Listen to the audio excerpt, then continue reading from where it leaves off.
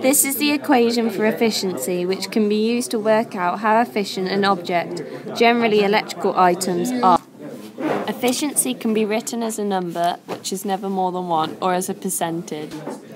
An example of efficiency is by using an, a light bulb. This light bulb would have an efficiency of 0.15. This means it would radiate 15 joules of energy as light for every 100 joules of electrical energy we supply to it. Bulb's efficiency as a number is 15 divided by 10, which is 0.15, which we already know.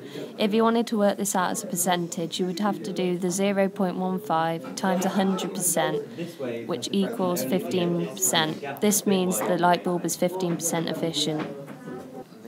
This is a Sankey diagram. It's a way. I don't like it. It's really quiet.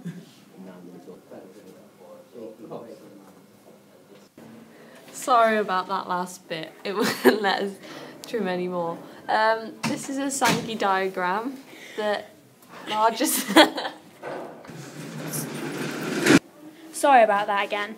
This is a Sankey diagram which shows the 100% electrical energy being put into the light bulb. 75 joules of light energy are emitted, which is useful because that's what we want from a light bulb. Although there's still 25 joules of heat energy, which is lost and is not useful because that is not what it's intended for. Sorry about that again. This is a Sankey diagram which shows 100% or 100 joules of electrical energy put into the light bulb.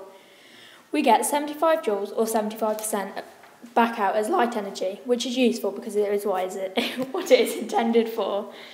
We also get 25 joules or 25% as heat energy.